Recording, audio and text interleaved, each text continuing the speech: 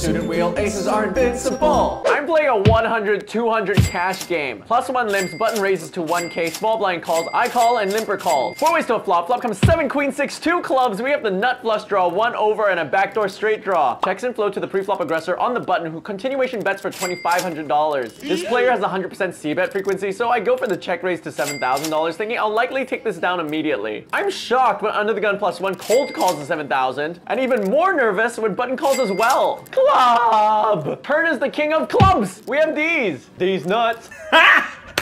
Got him! When two players call flop, I put at least someone on a worse flush, so I check with the intention of check raising, and plus one just rips it all in for 35,000. Button folds, I double check to make sure I have these nuts. I call and see I'm up against top two pair, just need to fade his boat out, no boat sailing down this river, and I take in a $105,000 pot. Did I say dollar? I still meant Filipino peso. Come on! Link in pin comment, check it out.